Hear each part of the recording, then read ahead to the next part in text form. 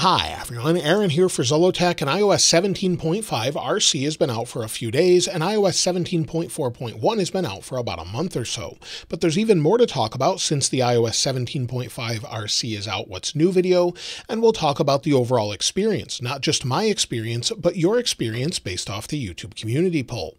Where at the time of this video there's over 12,000 votes and 160 comments. I've gone through every single comment to see if this version is ready, what it's like, and whether or not battery life is good or not. We'll talk about that and some of your comments a little bit later. But first, let's talk a little bit about iOS 18 as that's what's coming next. Siri this week is said to be at the heart of the upcoming AI integrations of AI in general being incorporated into iOS 18. This is according to a recent New York Times update where they said that they've heard that that's basically Apple rewriting Siri and making it an integral part with AI combined in the operating system itself. So that could be a major change using large language models, maybe some differences there. We don't know exactly what that entails, but we do know we'll get extra features. iOS 18 is also going to integrate audio transcription ability into notes and voice memos directly, according to Apple Insider. It makes sense since you can already sort of do this with FaceTime calls and other things with dictation, but integrating it more directly into the OS, whether you're taking a note or maybe even summarize notes or something like that a little bit later. So it looks like they're really pushing AI this time around. What that means specifically, we don't know, but we're only about a month away or so. WhatsApp got a big interface update on iOS and Android. It has a new attachment tray, and they actually posted about it on their website, saying keeping WhatsApp fresh, simple, and approachable. As we scroll down, you can see the new design on iOS and Android, and there's more about what's new in it with that new attachment tray sort of the look of it over the years on iOS all the way through the newest version. And so these are all about the latest updates. So that's great that they keep updating it. And I know many people around the world use this.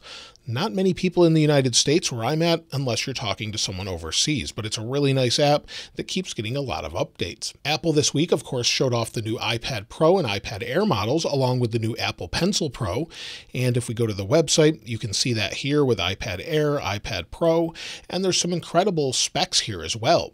However, it's meant to be a sort of a creativity device crammed into one super thin device, and Apple did an advertisement where they crushed a bunch of instruments, paint, and more to visualize this, but then got a lot of backlash for it.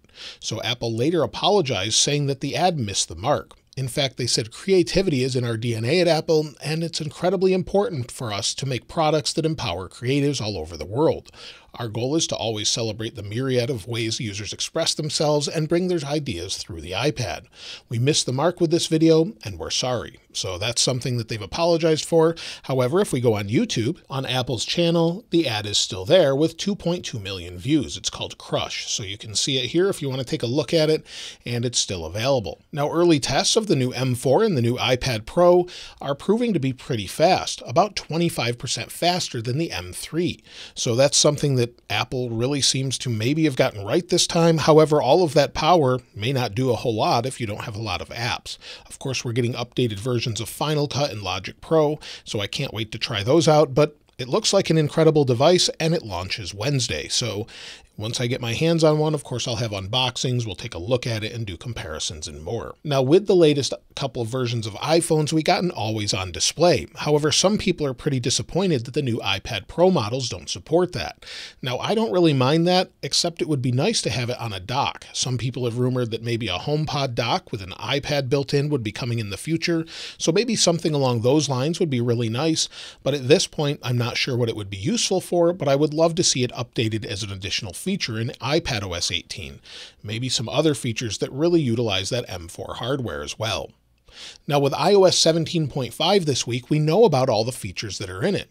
However, Apple has not mentioned a single thing about the alarm clock bug, so whether or not that's actually fixed in 17.5, maybe we'll find out on Monday or maybe sometime this coming week.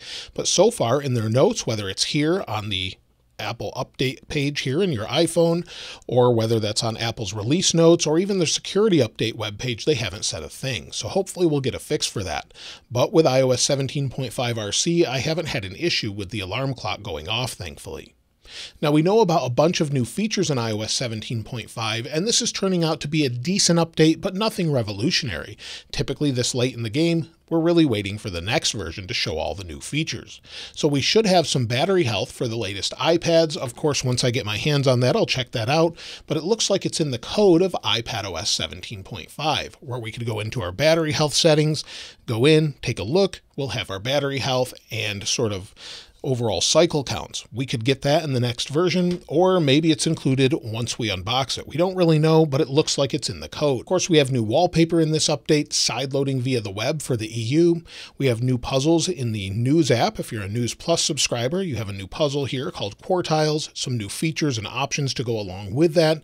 And we also have a new repair mode that's built in also if you go into your Find My and try and delete a device.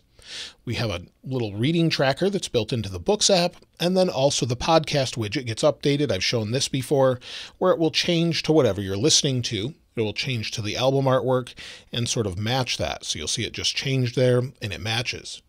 We also have updates to the weather widget where they've changed the font size, Spotlight search changes where we search for podcasts and it actually shows the most recent played ones. There's emoji changes, privacy and security changes, and of course, security changes we'll see a little bit later after it launches to the public.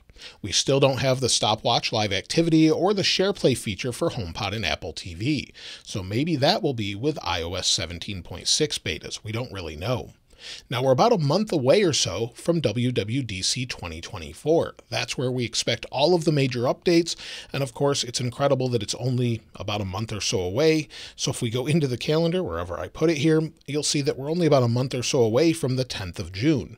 That day, we expect Apple to have a keynote, show off iOS 18, iPadOS 18, watchOS 11, and maybe some surprises with visionOS 2.0 or something else. We don't really know. But that should be a pretty big day. And then right after that event, of course, we'll get the first beta of iOS 18. So iOS 18 beta 1, and then we'll get to try those out for ourselves. Now, until then, we could see iOS 17.6, of course, but we're waiting for the release of iOS 17.5. Most likely that will be on Monday or Tuesday based on what we've seen in the past. That makes a lot of sense since the iPads come out on Wednesday, and then we'll move on to iOS 16, like I said. So we should see that Monday or Tuesday along with watchOS and all the other updates with macOS and more. We never did get an iOS 17.4.2, so it looks like Apple's going to skip that altogether and push everything into iOS 17.5. Now, as far as the overall experience with 17.5, well, this time around with the RC, it's smoother with less stutters. Most people report that it's very smooth, just scrolling through different things, and that includes older devices as well with the iPhone 11 here. So if we go into music, give it a second to load, there we are, we're on the home page, just scroll, things are nice and smooth, just swiping between pages, going into maybe a folder, going back out, everything's working as you would expect. So that's great. I've had no lockups this time around, and AirDrop is also working very fast. In fact, if I try and send this, We'll send this over to a different device. If I airdrop over to the iPhone 11, it takes just a second, it recognizes it, and it's there immediately. Before it was quite delayed, and if I send this to the 14 Pro Max that I have over there, it's delayed as well as that has Beta 4 on it. Now, squared notifications seem to have gone away, so that's a good sign. Let me close out the podcast app here, and the squared notifications are gone, so that's great. It's working properly. Everything's working as you would expect there, but there are still some issues with it. I had a lot of issues this week with connectivity and cellular and Wi Fi.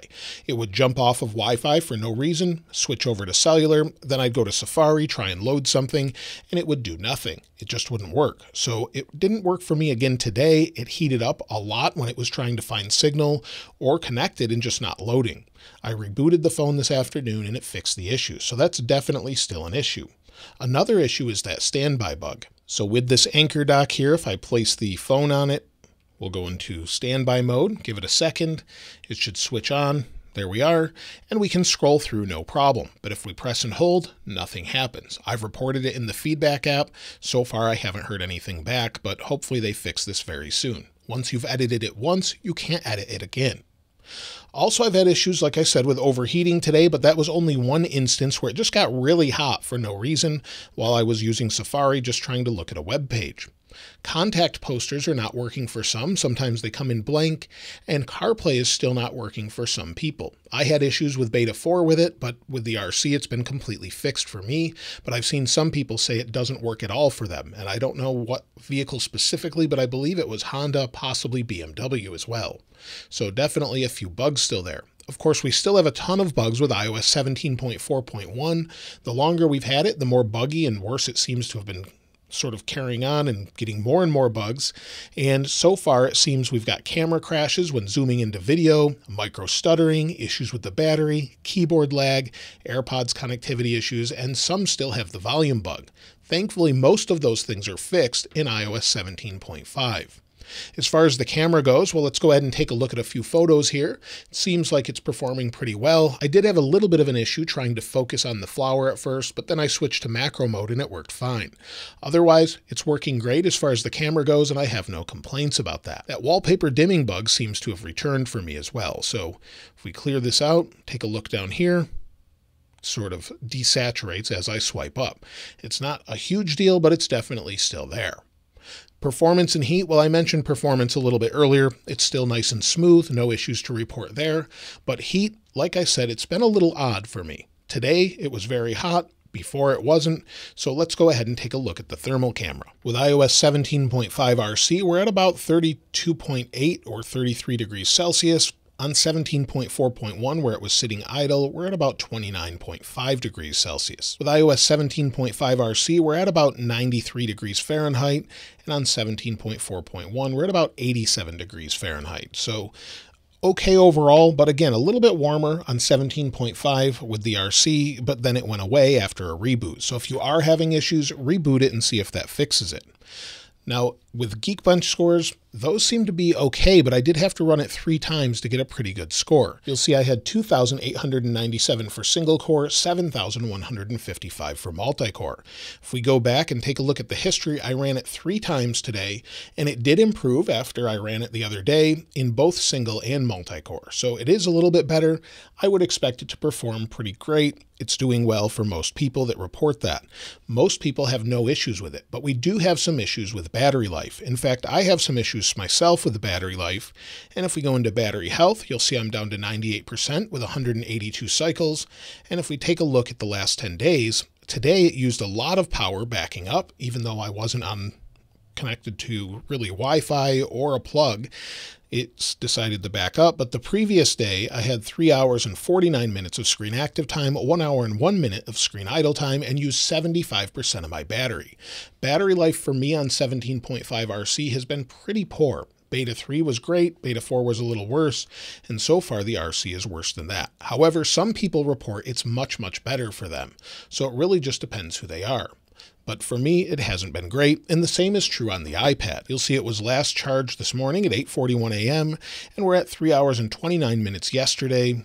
And usually I'm getting about five or six hours of screen on time. So it's not great. Today I'm down to 87% and I've used it one hour and 11 minutes. So overall, it's okay on the iPad, but not great. It's not great at all for me on the iPhone. Now, if you're wondering if you should install iOS 17.5 RC, if you're already on one of the betas, I definitely would if you haven't already. If you're on iOS 17.4.1, I probably would hold off as I think Apple will push a different build number once they release it to the public. We don't know that 100%, but I think that seems likely since we didn't have an iOS 17.5 RC2. So that hopefully will get a little bit of an update with additional bug fixes. Now let's go ahead and take a look at what you had to say about it. Matt Raynor 0611 said, on iOS 17.5 RC on my iPhone 14 Pro Max. Battery is good. I can easily get through a day no problem. Micro stuttering every once in a while. Other than that, good update. Raj SKRG said, I'm on iOS 17.5 RC device 14 Pro Max. Works really great. Battery is also better compared to 17.4.1. Also, I observed that the heating of the device is reduced under normal environmental factors. Didn't check in the sunlight yet.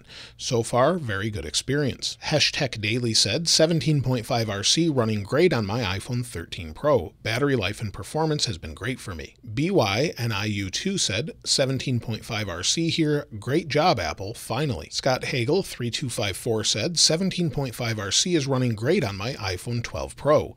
I have smooth, snappy performance, good Wi-Fi and cellular connectivity, and great battery life.